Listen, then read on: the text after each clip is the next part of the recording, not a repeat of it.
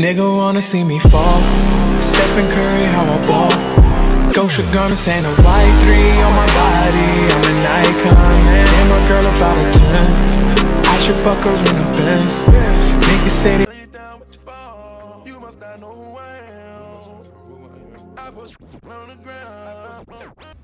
Bro, this game is straight fucking trash.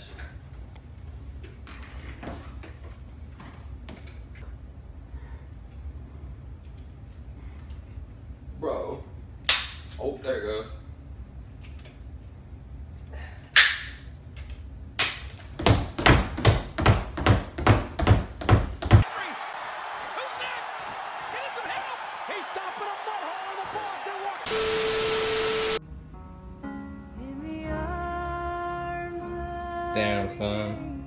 RIP to 2K18. At least we have a really nice casket. Oh, here comes Preacher Cole to do the ceremony.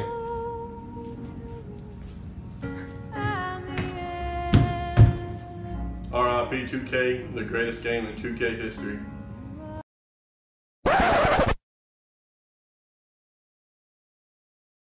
Bruh.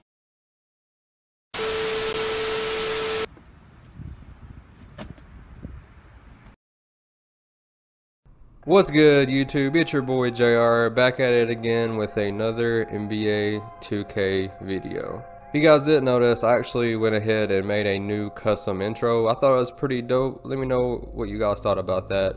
So, today I don't really have any news or anything like that. I just wanted to kind of describe what I want to happen within 2K19. Now, again, this isn't a hate video or anything like that. I didn't make this channel to hate on NBA 2K18 or anything like that. But I just wanted to do that clip I made in the in the beginning. That was just all for fun.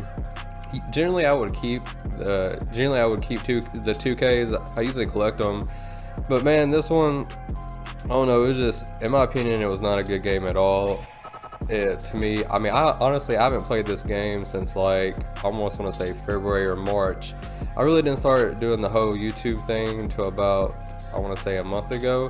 So I mean, honestly, have no gameplay whatsoever, just besides of the little gameplay that I have right here. And this was just me hopping on with randoms just so I would have something to show during my videos. But for uh, 2K19, man, I just really want to see the game actually be lit again and hopefully the community will come back together and just enjoy a good game throughout the whole year to me 2k18 was just so dull and bland like i don't know man it just, it just wasn't fun this year.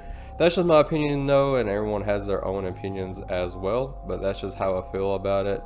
2k19 to me it seems like they have really listened to the community you know. They brought features being able to skip cutscenes and just stuff like that so i feel like they're listening to the community so I really hope that it's going to be a good year for 2K because I don't know, I've always had fun playing 2K, especially on the park. So this year, I mean, I just really hope that they bring new content throughout the year. I feel like they really let the game die just based on they didn't they stopped updating it. They stopped trying to fix the glitches. You know, it's uh the 2K19 is about to drop, and to me, I would still have issues just trying to join my friends and get in the same park. I would have issues with the servers bugging me out and just different stuff like that. And that to me just killed the game. And overall, the gameplay was not good this year. You know, the snatchbacks and the blow-bys just made it so unrealistic. It was impossible to differentiate between builds because everyone could do those type of moves. But again, they came back and said 2K19, those issues were actually fixed or nerfed. So that's also good news, but I don't really have any new 2K19 news.